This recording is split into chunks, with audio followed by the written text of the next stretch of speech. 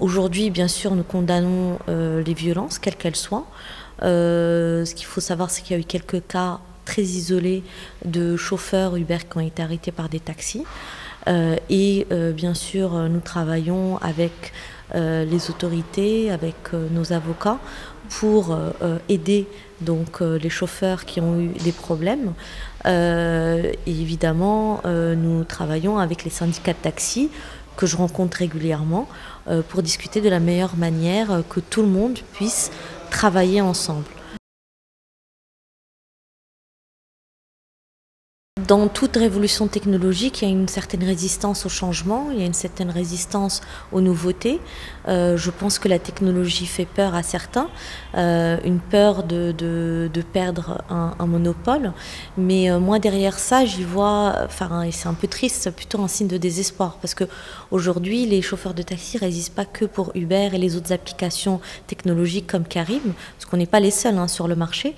Euh, il résiste aussi au tram, il résiste au vélo-taxi, à toute nouveauté qui euh, peut, on va dire, euh, changer le paysage du transport urbain à Casablanca. Ce qu'il faut voir dans, dans, ce qui se passe actuellement, c'est pas les taxis contre les plateformes de transport, c'est certaines personnes assez isolées qui finalement veulent faire du bruit pour des raisons qui leur sont propres. Et, euh, et finalement, il y a beaucoup de taxis qui souhaitent encore travailler avec Uber, des nouveaux taxis qui souhaitent rejoindre. Donc, euh, si vous voulez, c'est pas figé. Hein. Nous, euh, comme vous le voyez, on travaille à visage découvert, on n'est pas une entreprise qui se cache, on paye nos impôts, on paye des impôts conséquents au Maroc en tant qu'entreprise. On est une entreprise technologique qui s'est installée au Maroc de manière tout à fait euh, euh, légale. on continue d'opérer normalement et on travaille avec les autorités afin de pouvoir faire évoluer la réglementation et pour pouvoir réglementer le secteur de manière beaucoup plus claire et beaucoup plus transparente. Nous, ce qu'on propose, c'est une réglementation qui permet de créer un véritable secteur des VTC, qui aujourd'hui n'existe pas au Maroc. Euh, donc, nous, ce que nous proposons, c'est qu'il y ait un cahier des charges pour les plateformes de transport euh, et qui permettent en fait d'obéir à certaines règles et euh, donc de pouvoir créer cette nouvelle classe de transport. Donc les plateformes de transport devront se conformer à certains critères qu'elles devront appliquer aux véhicules et aux chauffeurs et à leur charge de remplir ce cahier des charges. إحنا خدامين مع الشركة ديال Uber جاتني واحد l'application في الإقامة ديال الضحى اللي كاينة في الطريق ديال ديال أزمور. دخلت الإقامة ديال الضحى تماك بان لي واحد السيد هز واحد الشكارة مع واحد السيدة تماك. طلع معايا في الطوموبيل. كانوا غير ركبوا اللور قالت لي هذيك السيدة قالت لي لا ما تركبش. طلع معايا لقدام أنا عييت منك. بهذه la façon هذه. أنا ركبتهم كان الناس اللي كنهزوا اللي كيتعاملوا معنا ناس يعني آه كيلقاو مشاكل في, في النقل كيلقاو مشاكل في الطاكسيات يعني كتوقف الطاكسي ما كيبغيش يوقف لك كيقول لك لا غنمشي. يعني la destination كيديرها مول الطاكسي هاد ليك اليوم بقاش كيدير la destination؟ على اي هزيت الناس معايا؟ الوقت اللي غادي نخرج هز الآخر ال barrière 30 طاكسي بيض واقفة في الطريق. 30 طاكسي اللي واقفة تماك حبسولة. نقز هو خدا ال contact ديال الطوموبيل كيقول لي شوف غوت غوت على البوليس يجي. دايزين شي موطار تماك عطاه هو ال contact. قلت له الشريف علاش انت غادي لي ال contact سميتو؟ ملي جاو البوليس عطاو ال contact لي انت اللي وقع هاد الناس هادو راه راكبين معايا وراه هو اللي خدا لي ال contact. بقينا كنتسنى واحد اللحظة اللي كانت طويلة تماك باش جات la permanence يجيو يدونا تماك. الوقت اللي تعطلوا قال لي سيدي هاد الناس ما بغاوش يدونا. غوت على الطاكسيات باش يعمروا هذا الطريق ديال الزمور تصوري الطريق ديال الزمور بقات المدة ديال ساعة ولا شي نص ساعة وهي محبوسة الطريق. كاع الطاكسيات ديال الضربه كلهم جاو تما. أنا ما بقيتش عرفت واش هادوك هما اللي كي كيخدموا ولا البوليس هو اللي كيخدم. ملي جاو هاد الإجراءات كلها داروهم مالين الطاكسيات تعسفوا عليا هما تعسفوا عليا وخداو لي ال contact. يعني حدا داك البوليسي ولا مبهوط البوليسي خدام من عندهم ال contact وقال لي يا ودي هادشي غتشوف هاد الناس هادو راه هلكونا بهاد la façon هاد الناس هادو راه هلكونا هاد الناس هادو. يعني هما اللي ولاو كيتحكموا في الطريق السيار وهما اللي كيتحكموا في الطريق هما اللي كيتحكموا في الناس هما اللي كيتحكموا في كل شيء.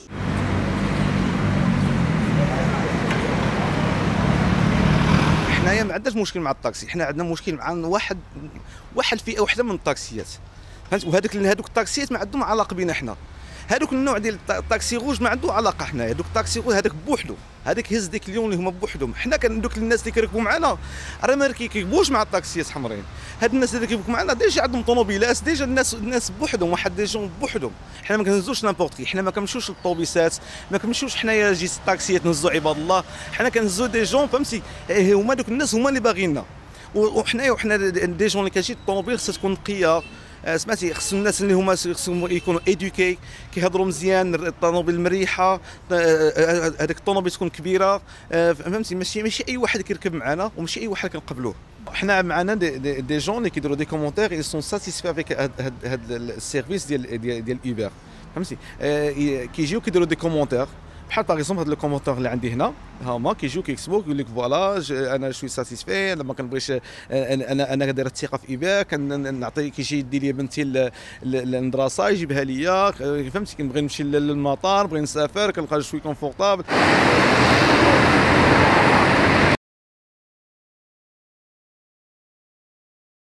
شركة أوبر هي واحد الشركة اللي هي مجهولة الهوية. وهي شركة اللي كتمارس النقل السري النقل السري العلني. شركة اللي عندها مشاكل أصلا في أوروبا. هذه الشركة هذه تمارس واحد العمل اللي هو غير قانوني. علما أن آه، قطاع سيارة الأجرة ينظمه آه، ظهير 1260 واحد 1963 تأتي بعده الدوريات التي تنظم هذا القطاع. حتى إحنا بغينا نعرفوا شكون من وراء هذه الشركة اللي يرينا وجهه أما إذا لم يرينا وجهه فنحن سنلاحقها ماشي في الدار البيضاء سنلاحقها أينما حلت وارتحلت ولا ترى منا إلا الوقفات والاحتجاجات والإضرابات أينما حلت وارتحلت. علما أن السيد الوالي ديال جهة الدار البيضاء مشكورا أنه رفع شكاية ضد هذه الشركة. معنا نحن ما كنفهموش بحال السيد الوالي اللي هو مسؤول مسؤول على جهة الدار البيضاء السطات رفع دار شكاية. الآن راهي أمام القضاء. حتى كاين بعض النقابات الآن حنا كمنسقية ديال واحد المجموعة ديال الهيئات نقابية نقابية وجمعوية نحن غادي حنا غادي نحطوا واحد الشكاية للسيد وكيل جلاله الملك في هذا في هذا الاتجاه هذا. السيد الولي حذرنا حذرنا حذرنا أننا يعني نمارس الضغوطات أو مثلا في الطريق ندخلوا في احتكاك في احتكاكات مع شركة Uber ونديروا نديروا شي أمور اللي هي القانون سيعاقبنا نحن كسائقين. معنى أنه بانت لي سيارة ديال Uber معروفة نسجل رقم اللوحة ديالها ننادي على صال ترافيك السياره الدورية ديال ديال الأمن. نلونسي لهم الرقم ديال السيارة ولا نقول لهم بأن السيارة متوقفة في المكان الفلاني كذا وكذا. الله يجزيكم بخير. جي ديروا الخدمة ديالكم.